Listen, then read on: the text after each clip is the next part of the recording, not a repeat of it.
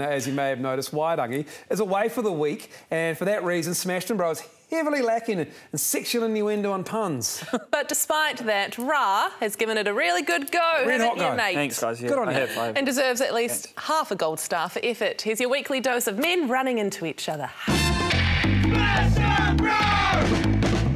How come the one time I get to do it, there's not even any big hits? Oh my god! The What a beautiful accent. Is that French? Josh Reynolds must not like Carlos Tuimavave because his hospital pass put him directly in the path of an angry saint. St. Helens centre Mark Percival. Agro Argentinian Pablo Matera has brought the Latin flair to this year's Super Rugby, and by that I mean he has been punishing anyone for daring to run into his channel. Flat for Swain, he gets hammered. Huge shot from Pablo Matera. There's no there, mate. Oh, come on, Justin. The hit was muy caliente. Darcy Swain tried to say que pasa, and Pablo said no bueno, because Matera. Unlike some wingers, you could never accuse Vinaya Habosi of being a drop nuts. Oh, big defence. Rather than avoid type forwards when running the ball back, he seems to find the biggest bloke and gun straight for him.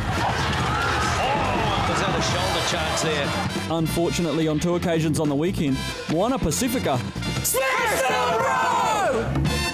Here's a quick attempt at a physics lesson.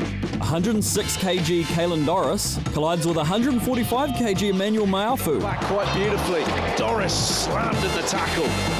Huge shot that was from Meafou. Inertia, speed, force times whatever. That hit was nice. The big man Meafou. It's like the old saying goes find the biggest guy on the playground and put a shoulder in his ribs. Arkoi, oh! Val now silly, shot out the line and put a huge hook on Arkoi.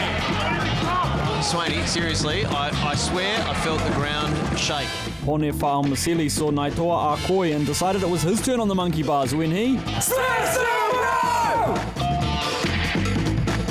Anything rugby union can do, rugby league can do better.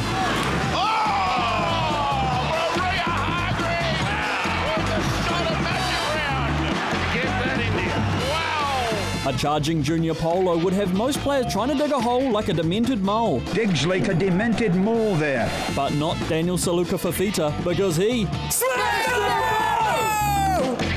Well done, Ra. That's good. Well I done. like doing that. That was fun. You don't need any sexual innuendo, do you? no, you just No. get